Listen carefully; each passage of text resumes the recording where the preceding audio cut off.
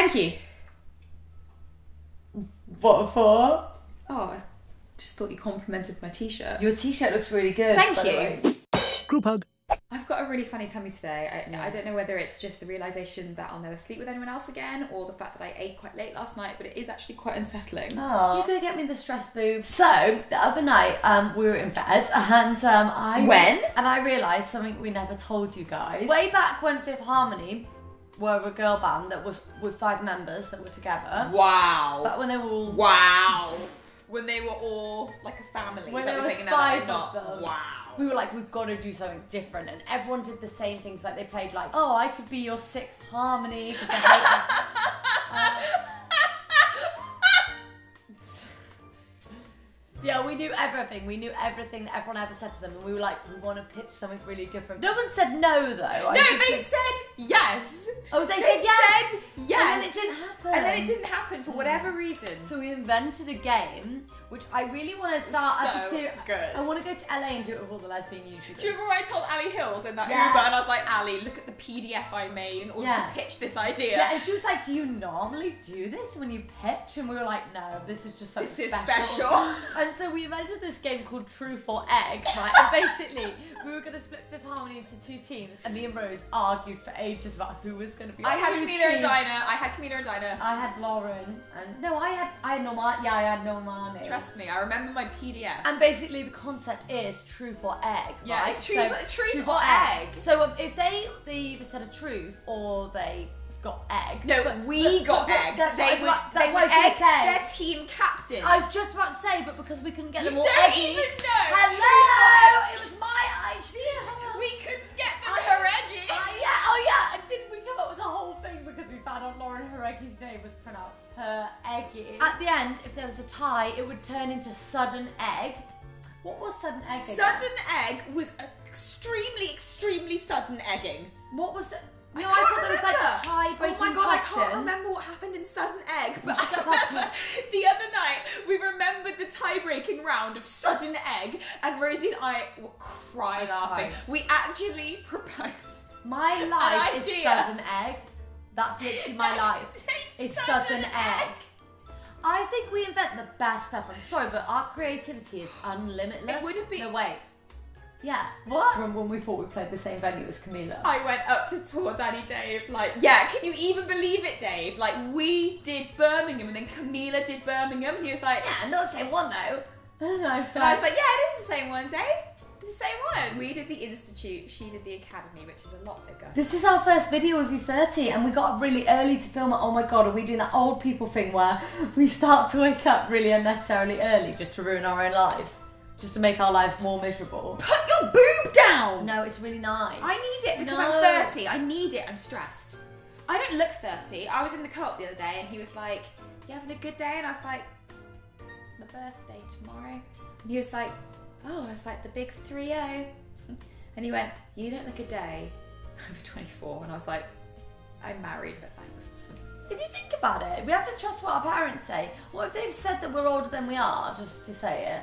Because you can't remember being born then, yeah? Yeah. When we were born 88, Yeah, you can't remember apparently. being born. Apparently, but Can- who knows? Can you remember the 80s? No. Right, probably, maybe you're not 30. What was your best age? And if you could become a Cullen, an old school 2012 reference, what age would you like to become immortal? Oh, right. Um, Not 21. 21. I haven't found my good age yet. I haven't had it yet. What if you have, and the rest is downhill from here, but you just don't know because you always think things are going to get better? If you could invent something that doesn't exist right now, what would it be? I mm. would invent Yep. something that stops men from mansplaining. Oh, So you never have to listen to that's it a great thing. And then, like every time they try and do it, you just hear like a lovely white noise or some kind of like womb sound. Do you know what? something melodic. That's amazing. Yeah. But I think you should adapt it slightly. Yeah. So that instead of it just kicking off when they're mansplaining, how about every time they open their fucking mouths? Yeah, that's true. That's true. I can't believe it's such a man hating channel. I'm unsubbing. Nikki, Sammy, and Linda asked if we'd ever be down to go on like a group holiday together. And what I wanted to say was Group sex. Well, yeah, I wanted to say, well, if it's anything like my family holidays, we'll probably just end up all having sex together. But I don't really know if they're like up for that or sideways for it. Mm. Isn't it great that we're like concert goers now? Like I've never been a festival person because it's not really in my nature, but I am a fangirl with the merch to prove it. And isn't it great that there's like concert goers? Uh, babe, do you want to know something so sad? It might be the same for you. I've only seen three concerts in my 20s, I think. oh, do you want to hear all Yeah. the concerts I've seen Yeah. ever in my life? Fifth Harmony. No, I'm going to do it in order. Hear'Say, Yeah, 911, yeah. We used to already see more. Kelly Clarkson. Kelly Clarkson Cardiff Party in the Park 2005. You were big on Kelly Clarkson. I loved Kelly Clarkson. She got me out of my OCD funk. Fifth Harmony, Camila Cabello. I've really loved Meghan Trainor. Meghan Trainor. I've got a real variety of genres, haven't I? Speaking of sudden egg, Yeah, I want you to tell them yeah. the story you told me about your tonsil stones. No. Yes. No. Yes. Have you ever had tonsil stone in your life? No. They come in different sizes. I haven't had one. Basically, a tonsil stone is when food gets stuck at the back of your tonsils or in them and gradually goes hard, a little bit like limescale. What's your tonsils?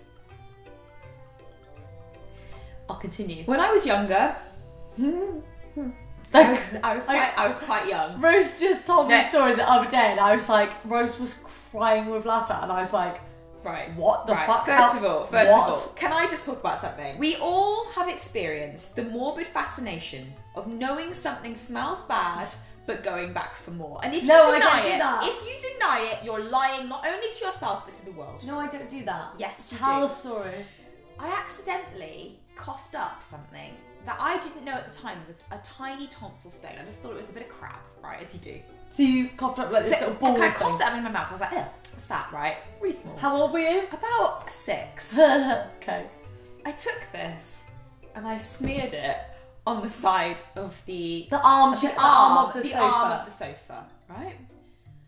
I didn't know that as soon as you break a tonsil stone, the worst smell known to man What does it smell? emanates from such an evil source, and it was there. It What was does on- it smell like? Let me guess. Is it like bile and pineapple juice and sick? Yes, that's perfect. And some Bile, egg. pineapple juice, and sick. Mm. That's exactly what it smells like. Pineapple So- juice is rank. I smeared it on the arm of the sofa, and as a six-year-old, and a thirty-year-old, I do it now.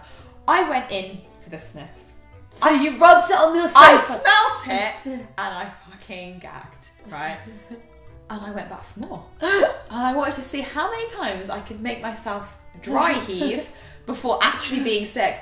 Not only that, the next day and a few days afterwards, I came back, and it's just got worse. So basically, you rubbed your fucking mouth crud on the arm of your sofa or couch or whatever, and then you kept going.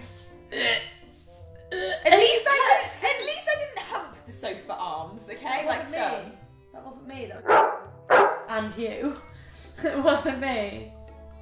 I can't. I humped a lot of things, but not my sofa. So the other day, we're in Starbucks, we're robbing their internet, and I went and bought some food and drink. Um, hang on, I'm just trying to remember what happened. You've left us on a cliffhanger. I was making conversation with the guy who was serving me, right? And I got the impression that he fancied me, right? And I was like, oh, I'm worried he thinks like I'm flirting maybe. Because but I was just like filling the gap, right? The the time while he was heating up my food because I found it awkward, so we were just chatting, right? And I and then I went to the loo, right? And I was like, oh, um, I'm gonna have to slip in. I was just thinking in my head, like, oh, uh, I'll just have to slip in in conversation my wife, like just mention it casually, so so it's not weird or anything. Like just bring it up, and then that's fine. And I went up to him, and he leaned in, and he literally went to me, "Yeah, we're uh, we're closing in a bit, so if you could just." And he, he told me to get out. if you could just go. so he was buttering you up in order to tell you to fuck off. Yeah, I think it was just all in my head. Yeah. I don't like the idea of you talking to people that find you attractive.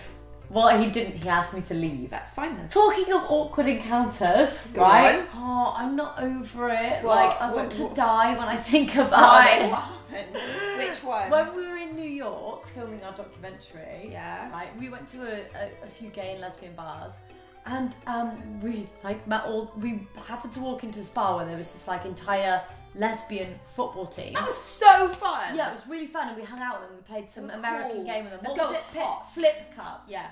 Yeah. You, we met two girls. You thought one was hot, and I thought the other was I hot. thought they were both hot actually. I thought they were both hot as well, but I preferred the one you preferred the other. But anyway, oh, I'm just so embarrassed. Because they dared us to make out and we did. Oh no, not that, but that doesn't embarrass me. But um, I said something really awkward to them, and it was just really awkward. What did you say? And now I'm. We've probably lost two fans because they're probably like, "Oh, Rosie in real life." What did you say? Oh, I just like. Got, Did I you say. I eat my own tonsil stone? No.